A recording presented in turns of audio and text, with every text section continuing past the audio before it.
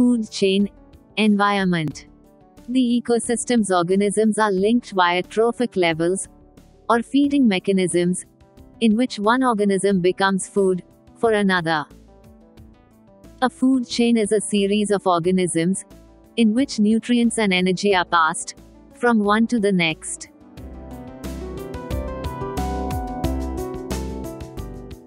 When one organism eats another, this occurs. Producers are at the beginning of the food chain, while apex predators are at the top. A food chain explains which organisms in the ecosystem eat which other organisms. After learning about the food chain, we can see how one organism is reliant on another for survival.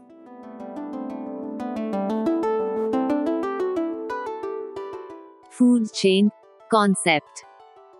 A food chain is the sequence of events in an ecosystem in which one living organism eats another organism, which is then eaten by a larger organism.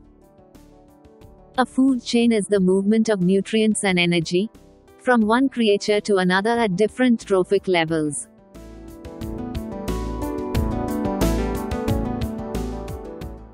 The feeding pattern or relationship between living species is also explained by the food chain. A trophic level refers to the order in which producers, primary, secondary, and tertiary consumers appear in a food chain. A trophic level is the lowest level in a food chain.